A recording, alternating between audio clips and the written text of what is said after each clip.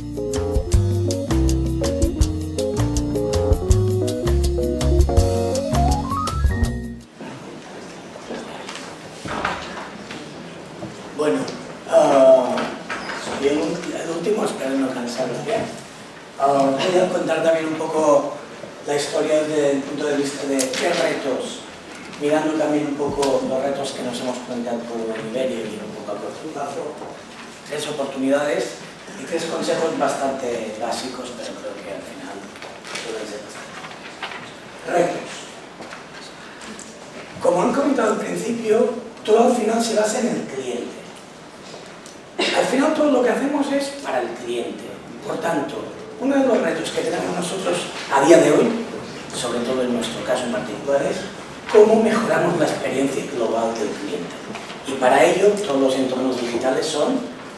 útiles.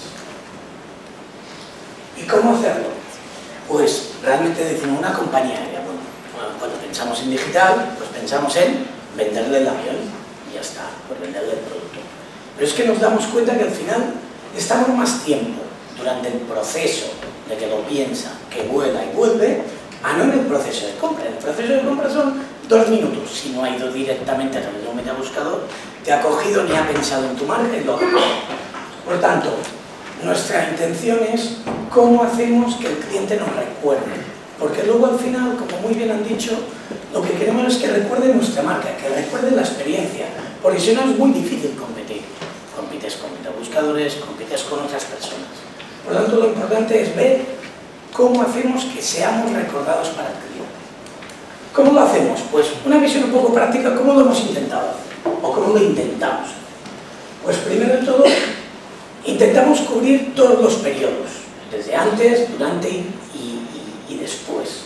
Pues antes, prescripciones y acciones durante redes sociales. En el viaje lo veremos. Y después también, aprovechando la, viralidad. Lo que queremos es fidelizar, queremos que hablen de nosotros. También, y poneros en el contexto, Iberia, compañía más o menos dura, o sea, no es una compañía de mensaje, no, no lo son. Queremos ser jóvenes, pero tendremos que ir a Lourdes a hacernos una ¿vale? Pero lo que estamos intentando es impregnar el ADN digital dentro de la compañía. ¿Cómo?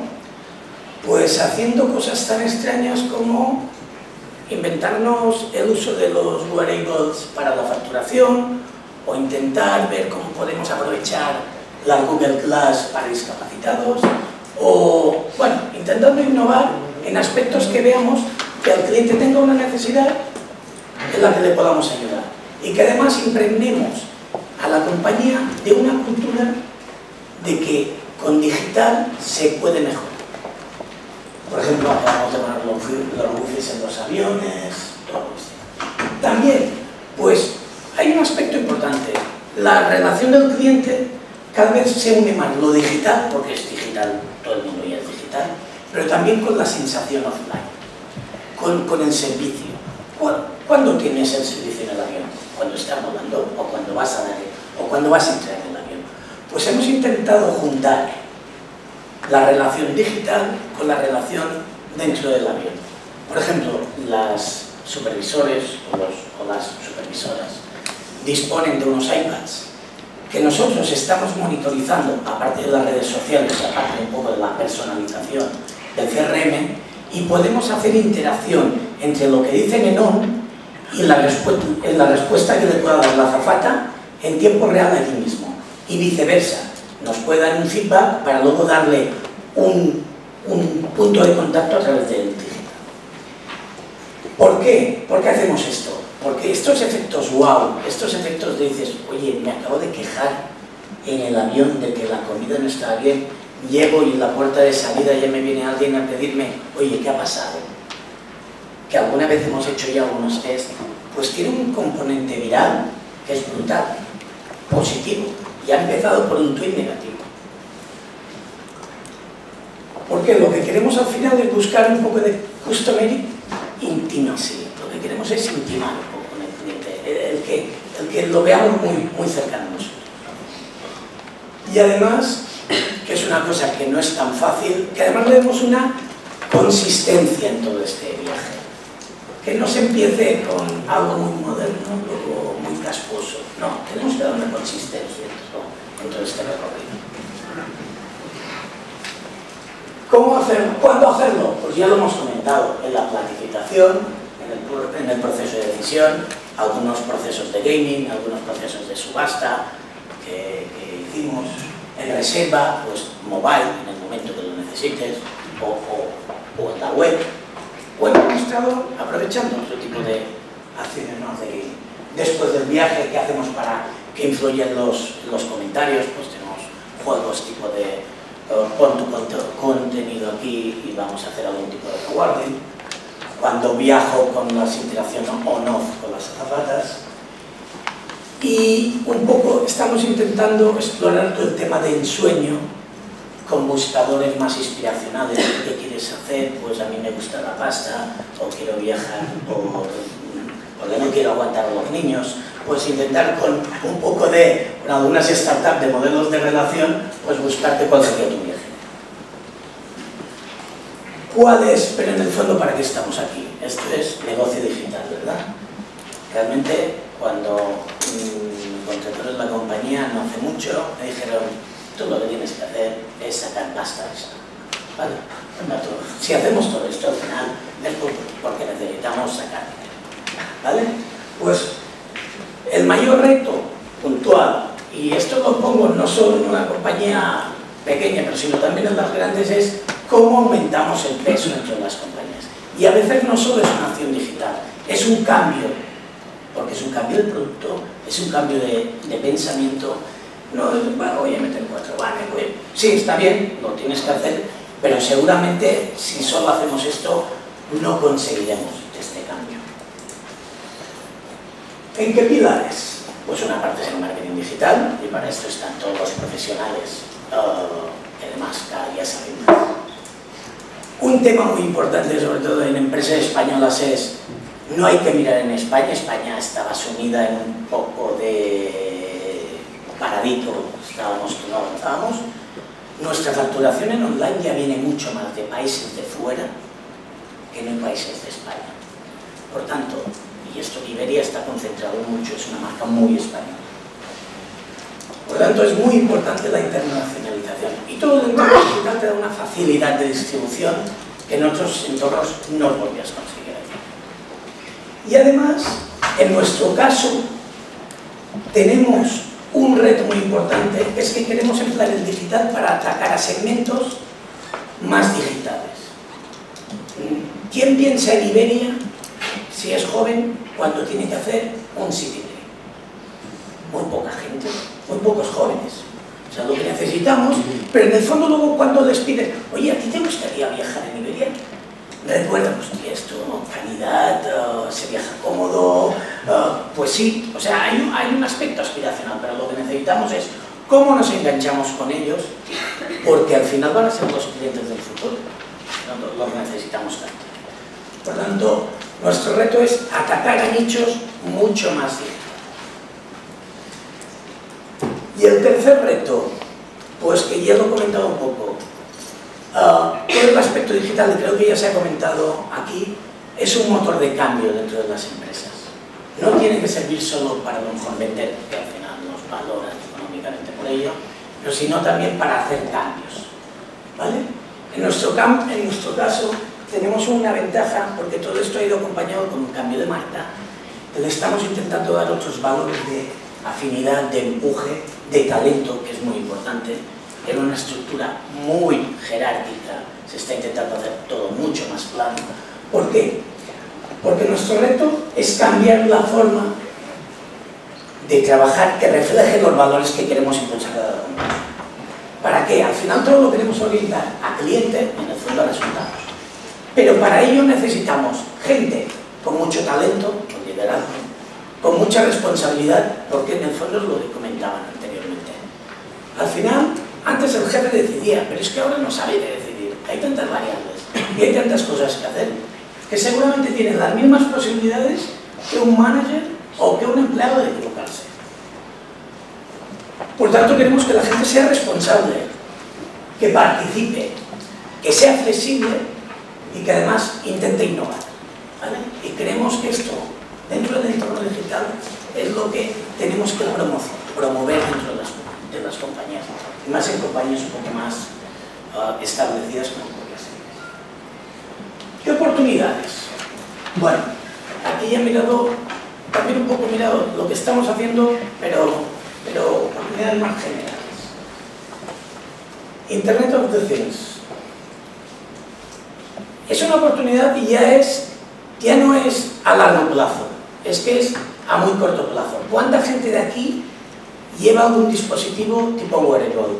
Estamos llegando, yo llevo el reloj, estoy seguro que, bueno, mi hijo pequeño también con una pulsera, estamos todo el día mirando, hoy, hoy no me he pesado la báscula, si, si 76 que he hecho, te, te mando un aviso, no tienes que comer hoy carne, bueno, pero todo este tipo de cosas, la verdad que es un montón de... Uh, hay un, montón de oportunidades. Y además con pequeñas startups. Y además muy asequibles. Nosotros estamos trabajando con pequeñas startups españolas sobre biometría. Alguna startup polaca sobre temas de gafas. Y no tiene nada que ver con Google ni con historias. ¿Por qué? Porque en el fondo lo que queremos es si tenemos que ser una compañía que tenemos que competir con American Airlines, con los British, con los top ones, necesitamos dar, primero, a ciertos clientes top, algún valor diferencial. Tema de biométrica, ¿por qué? Si conseguimos que el señor le demos algunas pautas para que esté más relajado en el avión, pues puedo asegurar que hay gente dispuesta a pagar más. Y, y sobre todo esto podéis pensar 40.000 ideas las tarjetas de embarque, el NFC del Samsung o del, o del, o del, o del iPhone, la tarjeta de embarque que la hemos sacado ahora con NFC y dices, pero tarjeta de embarque si ya lo tenías con QR, sí, pero cuando te quedabas sin batería y estabas, ¿qué haces? El NFC te cubre esto de que vas y sigues. El dispositivo teléfono es difícilmente que te quedes sin batería. Bueno, pues hay un montón de pequeñas empresas que están pensando en ello. Y a veces vale la pena buscarlas y ver cómo lo podemos aprovechar. Porque hay infinidad de oportunidades. En este caso es un caso, el primer caso que además tuvo más éxito de lo que esperábamos, cogimos a dos personas, dos becarios. Uh, Samsung sacó este teléfono antes de sacarlos. Nosotros ya estábamos trabajando con el NFC y nos dijo, oye, si hacemos algo, su centro de innovación está ahí en Barazas, a nivel mundial. Por tanto, nos sentamos con ellos, hicimos la tarjeta de embarque literalmente dos semanas. Oye, el Times, el, el Financial, salimos por todo el mundo, dices, pero, o sea que al final también te da una repercusión que también hay. Segundo, segunda oportunidad, el co. Co de lo que queráis, compartir, colaborar, uh, co-crear, es impresionante, ya lo habéis dicho. Uh, se me ha olvidado una, o no sabe. Uh, empresas como Airbnb, empresas que salieron de tres estudiantes que se fueron a un evento y no se encontraron un hotel y llamaron a unos, amigos para compartir apartamento.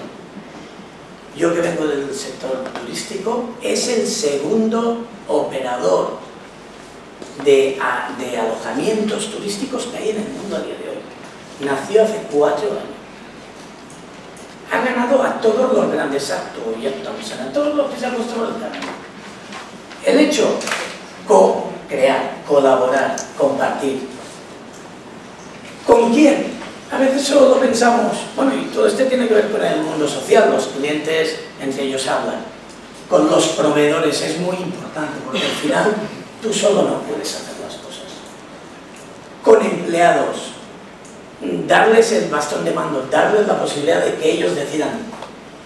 Y además que se me ha uno muy importante, que a veces nos cuesta mucho en España, pero en otros países no cuesta nada, que es el tema con los competidores. Hay mucho dicho a veces de que empresas que somos competidores podemos co-crear y hacer cosas para mejorar un aspecto que puede ser de costes que a todos nos beneficie, o un aspecto que puede ser, no sé, de romper barreras legislativas, que a veces no pensamos tanto en el competidor y también puede ser un compañero de. Y aquí tenía un problema, no sabía si poner social, pero ya lo había comentado, si poner, dije, bueno, pues multicanalidad, multicanalidad. ¿Por qué multicanalidad? Pues porque, lo, habéis comentado varios, te permite estar en el momento, en el lugar y, y en la situación que se encuentra el cliente. Y por un concepto muy importante, estamos muy obcecados con el tema de reconocimiento del cliente. Y además estoy de acuerdo que a veces tenemos muchos, muchos datos del cliente y luego no los aprovechamos. Pero es muy importante que el cliente se sienta reconocido y acompañado en todo momento. Y con la multicanalidad te da una gran ventaja. Estar con el cliente, eh, con el cliente en todo momento y además si estamos hablando de mundos on y off, intentar combinarlos. Porque no son excluyentes, al final todo es, es digital, al final todo es business. ¿Qué consejos? A ver si sale. Uno básico. Preparar. Y para ello un business plan. Si montamos algo, no es el hecho del business plan, y yo lo soy yo, pero, pero es necesario porque te hace reflexionar, te hace pensar, te hace planificar y que a veces, luego, cuando te encuentras en una situación, seguramente no es la que te esperabas, pero como mínimo ya has pensado, como lo hubieras hecho, plan A, plan B. Creo que es muy importante cuando vas a lanzar algo, planificarlo y pensarlo bien. Segundo, cuando lo has lanzado, mmm, mantén las ideas. O sea, mmm, malos comentarios o malas historias vas a recibir por muchos lados. Pero si crees que el negocio es bueno, síguelo. Esto no quiere decir ser talibán, quiere decir flexible tal, pero sigue la idea. Y uno tercero, que para mí es muy importante, es hay que intentarlo. No, tengas miedo a fallar. El fallo es parte del proceso. Seguro que fallaremos. Yo os voy a comentar una pequeña anécdota. Yo llegué a Iberia hace un año, año y pico. No sé si alguien oyó del Social Fly. Montamos, montamos una campaña viral que en cinco minutos destrozamos los servidores. En cinco minutos me quería morir. No funcionaba nada. El sistema caído, televisión en marcha, no había nada que funcionase. Pero bueno, ya duró dos minutos. Pero lo importante de ello es que la capacidad que tuvo el equipo de resarcirse la semana siguiente dijimos por narices y salió con mayor éxito que el primero. O sea, lo importante no es fallar. El fallar es fácil, pero da igual, lo importante es intentarlo y volverlo. Y sobre todo, promocionar que la gente.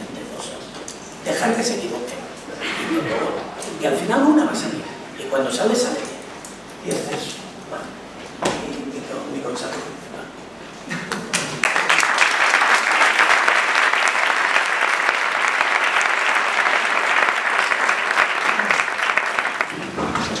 Muy bien, pues eh, antes de pasar a las preguntas, sí que me, sí que me gustaría pues, agradecer pues, nuestros, eh, y dar la enhorabuena a nuestros amigos, colegas y profesores que aquí están representados con esta, esta selección, con Elena, con Avila, con, Luis, con Roberto, con Miguel, porque la verdad es que, mm, bueno, yo creo que es un pequeño, es un pequeño lujo este tipo de, este tipo de encuentro, en el que pues, una selección de marcas eh, pues, muy representativas, pero también muy dispares, con, con sectores muy diferentes y por tanto con entornos aparentemente muy diferentes.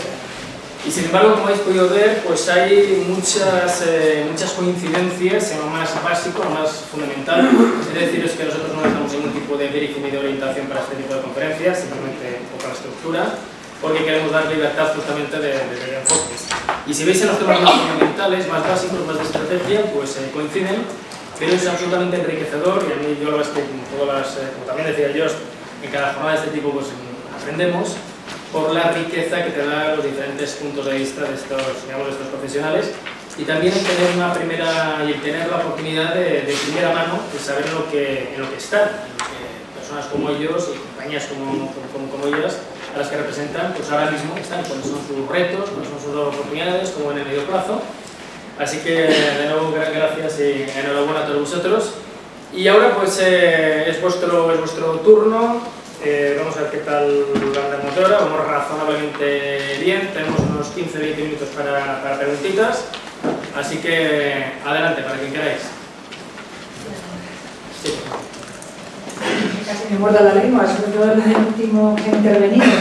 Es un consejo, eh, que os pido por vuestra parte, es sobrevivir en este mundo digital eh, en esta cultura que no te permite mucho el error. Tú dices que si sobreviviste el año pasado, tú también has sobrevivido a ese reto, pero eh, el camino hay que hacerlo y hay que equivocarse, pero ¿cómo se sobrevive? Porque no estamos muy hechos, creo, a, la supervivencia en esta cultura, aquí en este país, ¿no? A lo otros países estamos abiertos. Bueno, yo tengo que decir que a mí me contrató un inglés.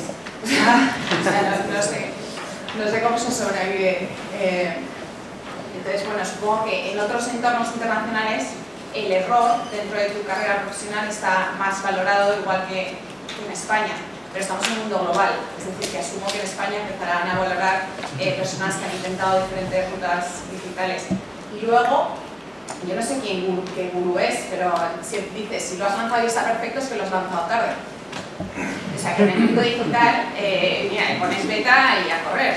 Chico, ya, veremos. O sea, yo tengo muchas cosas en la web que ahora mismo no estoy orgullosa, pero estoy recogiendo datos y las estoy mejorando todos los días. Y te equivocas y yo que pues un consumidor, es aquí hay un bug, pues yo respondo, ¿sabes? Pues tiene razón, muchísimas gracias, lo cambiamos. En 24 horas está. No creo, creo que este mundo es mejor para fallar que igual el de nuestras generaciones pasadas. ¿Alguien de vosotros que hace alguna aportación de lo que ha comentado Elena? Bueno, pues totalmente de acuerdo, ¿no? Eh, yo creo que es parte del proceso, sencillamente. Creo que solo si te arriesgas a asumir fallos es, el único camino que puedes tener para, para prosperar esto. Indudablemente, pues, a algunos les salen mejor que a otros sus errores, pero, creo que es fundamental por lo menos arriesgarse y si vienen fallos, pues vienen fallos y, adelante. Yo creo que al final se ve que es verdad que en España, yo también me pasa lo mismo, venía de compañías inglesas y alguna alemana, y, y permite mucho más propicio más. En las españolas a veces el regodeo es un poco excesivo. ¿no? Pero tienes que tener esas espaldas y, saber por qué lo haces, y al final lo valoras, estoy seguro. Lo de ser un Correcto.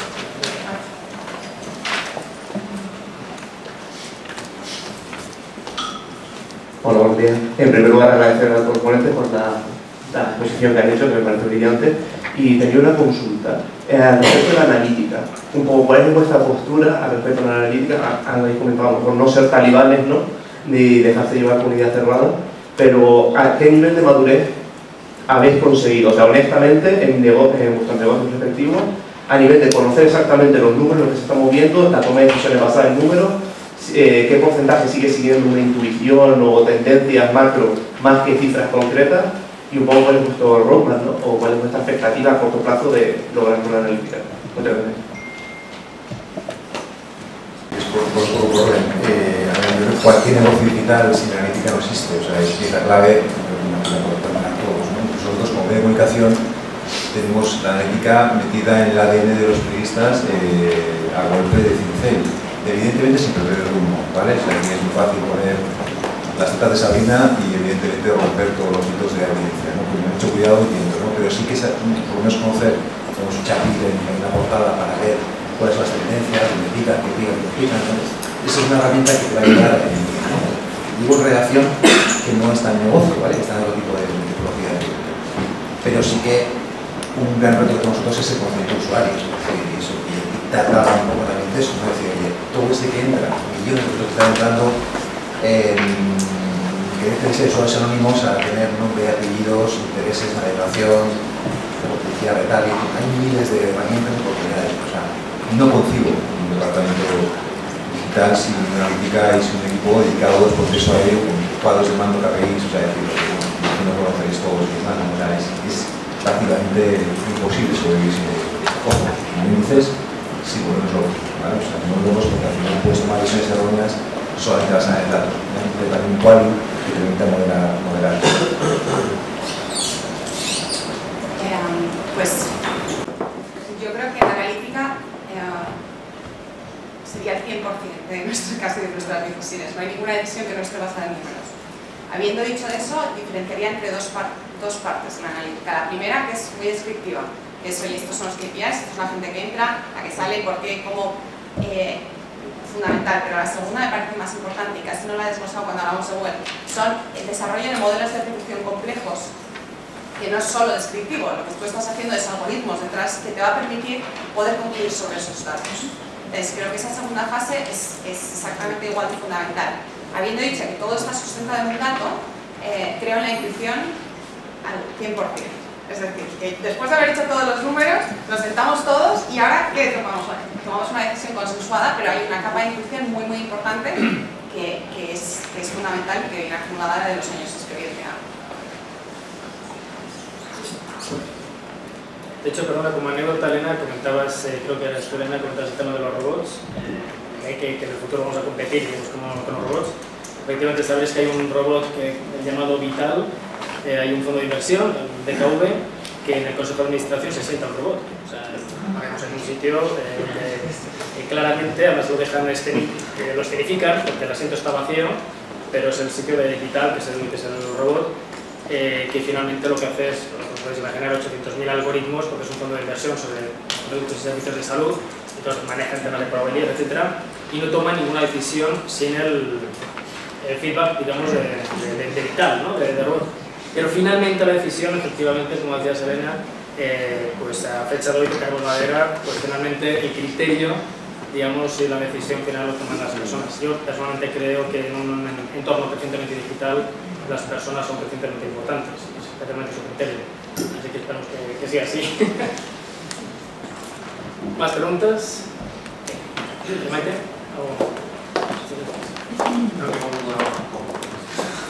bueno, Es un,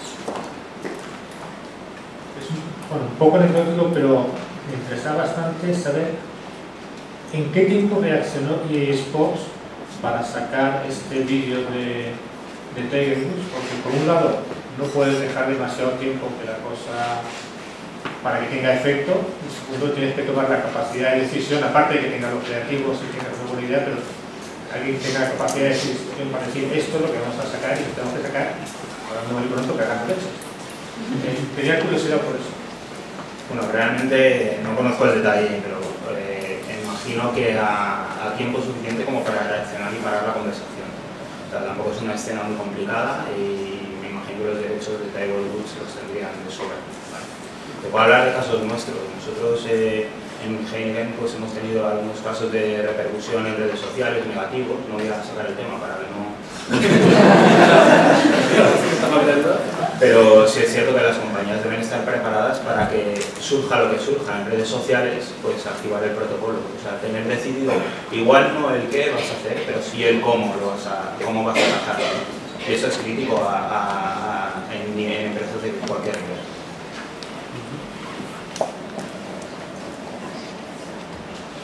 ¿Las preguntas?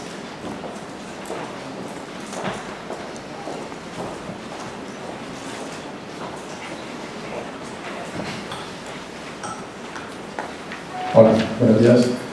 Eh, mi, pregunta va orientada eh, a la vila, concretamente. Eh, ¿No os planteasteis en su momento utilizar una denominación localizada en España en lugar de utilizar este tipo de nombre en inglés? Más que nada porque creo que Elena, por ejemplo, la compañía aquí han utilizado Nestreator. Hay empresas que les cuesta un poco con los nombres en inglés, la de apuesta, Telefel, este tipo de cosas. ¿Hasta qué punto influido eso y tomasteis decisión?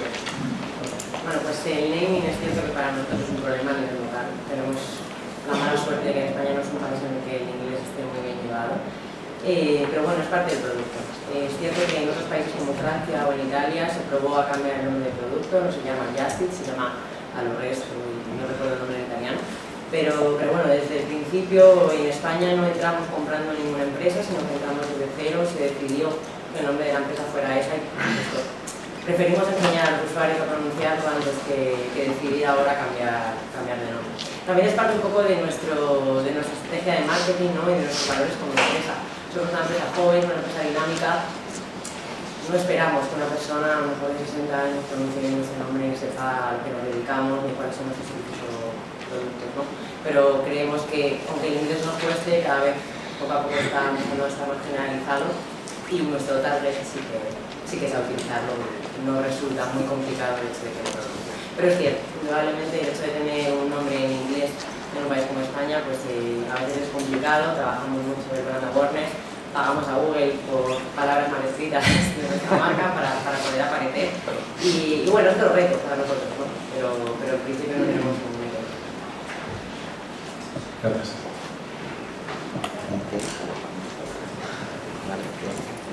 Buenos días. Eh, la pregunta me surge por Navila, pero no, eh, válida para cualquiera. Roberto hablaba de diferenciación por precio en online, de exclusividad. Eh, en un entorno en el que cuando naces puramente digital tienes modelos equivalentes que surgen, eh, pensaba en la era rojo, por ejemplo, ¿no? ¿Cómo potenciáis esa diferenciación eh, desde, desde el digital medio? Nosotros siempre pensamos que no hay que comunicar que eres diferente, sino que tienes que ser diferente. Creo que es, la, es un poco la clave. Probablemente yo lo he dicho, ¿no? el producto es una plataforma probablemente bastante semejante a la de la roja, pero, pero tenemos eh, pequeñas cosas que nos hacen diferentes. Por ejemplo, hoy es martes, tenemos una campaña de marketing que se lanza todos los martes, todos los martes, perdón, que es el Lazy Day.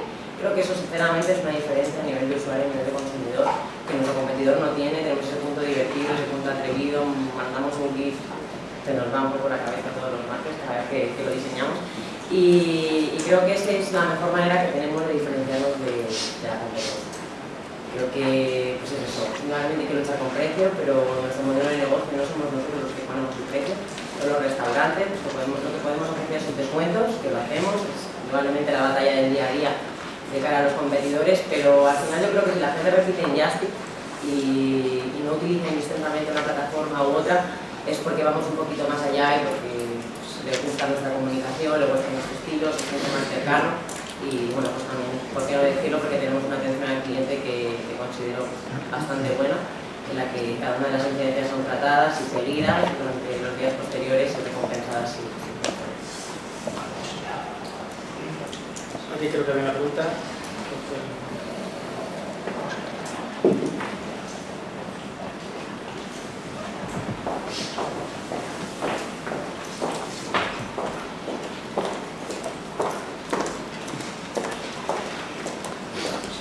Eh, bueno, eh, es una pregunta para, para ti, para Navidad, eh, aunque no sé, aunque es un poco en general para todos. Es, acabas de comentar lo que es para vosotros ser diferentes.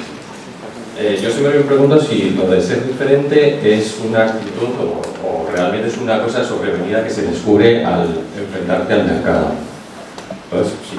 sí, yo creo que es una actitud. Yo creo que la marca surge así, eh, ya estoy de una manera diferente, surge con ese espíritu y, y directamente sabes lo que vas a la oficina día a día es, es parte de lo que haces en todas las cosas, no solo en las estrategias que planteas, sino cómo te relacionas con tus compañeros, en cómo haces frente a tu forma laboral o a todo lo que hagas. Vale, porque mi opinión también es eh, ser diferente a veces es hacer las cosas mejor que el resto. Entonces es hacer lo mismo, pero, pero mejor. A ver, es, eh, es, ser diferente en cuanto a comunicación, ¿no? Más que, más que un poco los ejemplos que os he puesto la presentación, ¿no? Que os he dicho, eh, por ejemplo, de la marca de bebida cola. Eh, hay estudios de mercado que indican que cuando el usuario no se dice el nombre de la bebida que está tomando, dice que el mejor sabor no lo tiene Coca-Cola, pero todos nos acordamos de Coca-Cola, lo que hace algo diferente. El producto puede ser mejor, puede ser peor, y normalmente si tienes un producto mejor, tienes ya gran parte del camino ganado, por y apostamos por el producto nosotros 100%, pero siempre yo creo que tienes que ir más allá.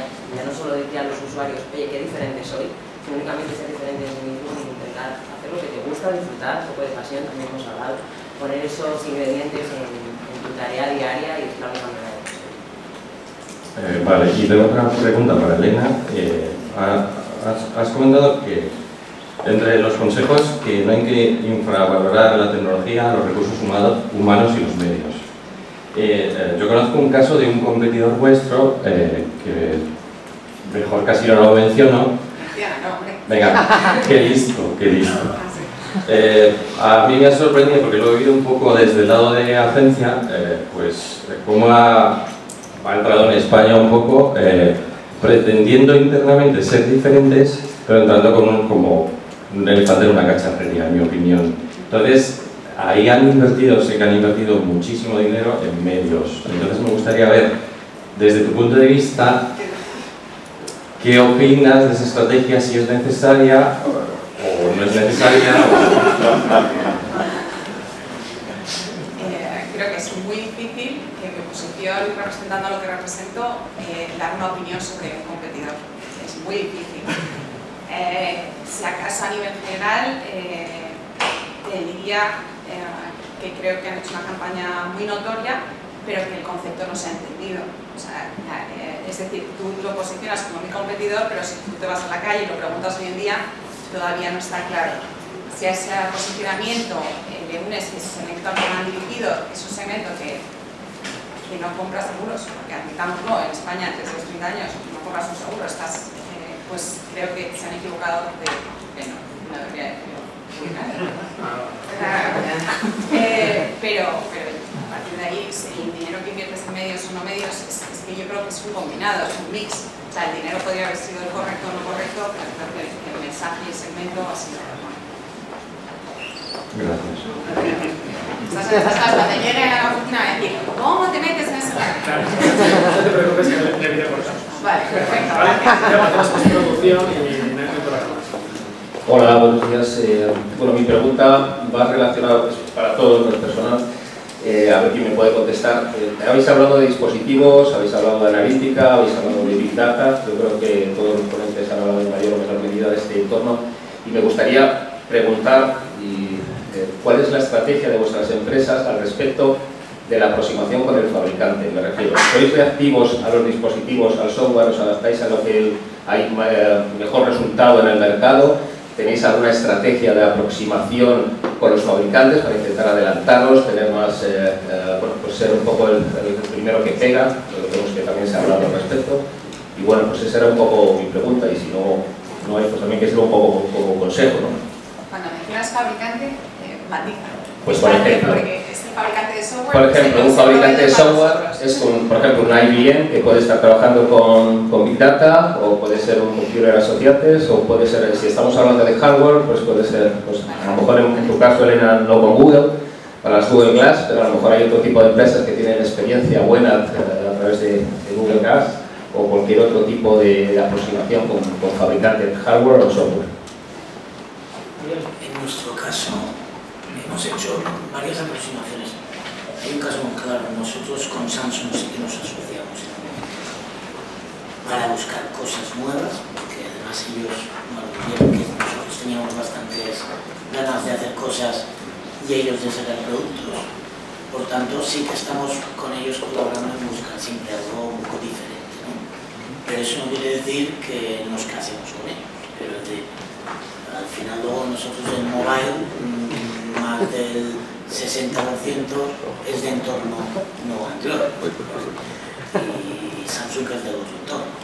Ah, y, en- y lo que sí que buscamos son ideas y, y básicamente nosotros estamos buscando no grandes marcas sino más temas de nichos que son más ágiles o que nos puedan ayudar a hacer algo.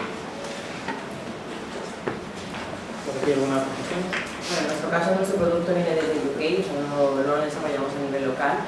Eh, entonces, bueno, es un poco lo que dice, no, no nos casamos con ningún proveedor, pero sí que es cierto que intentamos que la relación sea bastante fluida, intentamos que participen de nuestras conferencias muchas veces, ¿no? tener reuniones de forma puntual y, y, bueno, estén un poco involucrados en el proceso para que nos ayude a ambas compañías. Porque bueno, es cierto que a fin de cuentas yo creo que ningún desarrollador de software se casa con nadie.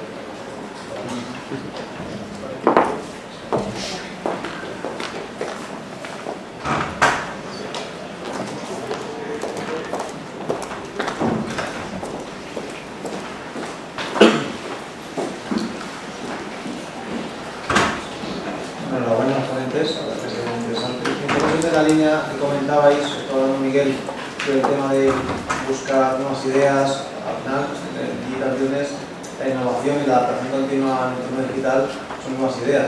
Eh, hablabais de trabajar con Samsung.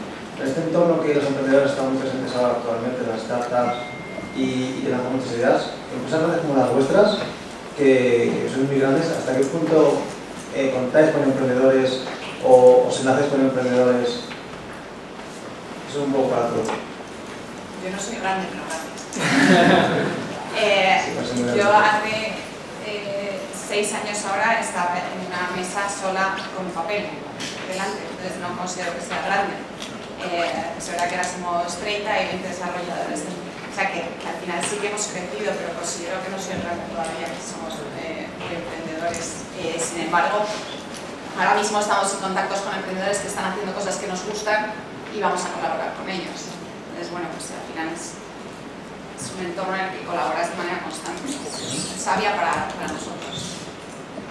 Nosotros, en, nuestro caso, eh, eh. Eh, en nuestro caso, eh, sí que estamos eh, trabajando en un proyecto que saldrá en breve, que está basado en experiencias, sobre todo en Alemania, de media framing. Las startups cuando, cuando nacen, crecen, eh, llegan a un mercado, les falta un punto de inflexión de intentar llegar a más mercado, ¿no? con comunicación, que es algo que nosotros tenemos. Como decía antes, cuando charlábamos, eh, nuestro principal, eh, nuestro principal beneficio es que eh, afortunadamente millones de personas llegan a los medios. No tenemos que ir hacia los medios, sino aprovechar eso para, vía colaboración, comunicación, publicidad y demás, con una participación de empresa y ayudarla a desarrollar, ayudar a desarrollarla porque creemos que al final podemos algún tipo de relación con, ellos. Señal for Equity es algo que hacemos en, en muy breve tiempo para un poco ayudar a ese, a ese, a ese, a ese emprendimiento. Al final ideas que son buenas no se queden en camino por falta de financiación o por falta de conocimiento, no se queden en nicho, sino que exploten y que si es una buena idea y tiene, tiene desarrollo, pues evidentemente eh, se lance y tenga éxito. Pues si os parece una última pregunta.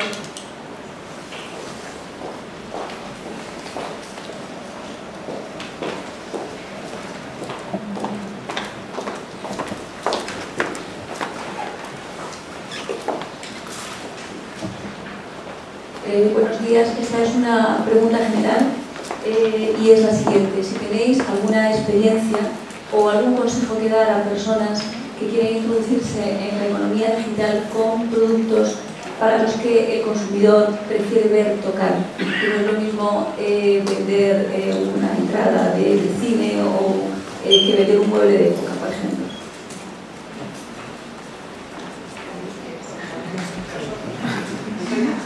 Bueno, realmente, eh, bueno, un poco lo que ha pasado con la moda, ¿no? La, moda se ha transformado completamente. Yo creo que las compañías de moda, enseñas y demás, lo que han hecho para intentar suplir ese tocar, ¿no? Es adoptar un cambio de modelo logístico completamente, ¿no? Ir a un omnichannel, ¿no? Donde un consumidor, esa prenda que compra el consumidor, pues puede comenzar eh, vendiéndose en internet, eh, descambiándose en una tienda física y volviendo, volviendo probablemente a, devol- a devolverse a través de internet. Yo creo que toda esa flexibilidad que están aportando es crítica para intentar suplir esa barrera eh, de, intentar eh, tocar ese producto de. Yo creo que hay un modelo muy interesante que es que he visto en Europa, la verdad que no estoy muy puesta en productos en, España, pero que son tiendas blancas en las que tienes tu expositor para, para poder mostrar tu producto durante un periodo de tiempo. Las hay exclusivas, es decir, tienes una tienda en mitad de una ciudad durante X tiempo o las hay multiproducto y tú lo que tienes es dentro de esa tienda una estantería. Entonces no sé cómo está eso ahora mismo en España, pero, pero vamos, Londres está, en Copenhague lo he visto de una manera además precioso con, con artículos de diseño. Si no está debería de montarse, mira, una oportunidad. Eh, porque, porque es muy útil. Porque si no eres una compañía muy grande como Zara, que puedes montar la omnicanalidad y lo que tienes es un producto de nicho, sí que es verdad es que pues, un mueble antiguo igual la gente quiere tocarlo, quiere verlo. Entonces, lo que haces es colocas tu producto en un periodo de tiempo, no pagas el alquiler, no pagas, no pagas nada, pagas como, como un fee por dejarlo eh, en destacable.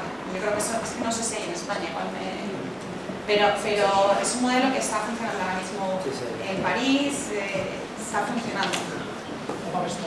Sí, a mí me gustaría decir que yo creo que el tema de las opiniones es algo realmente a tener en cuenta cuando quieres montar un modelo de negocio que se base en algo, un producto o servicio que el usuario necesita ver tocar.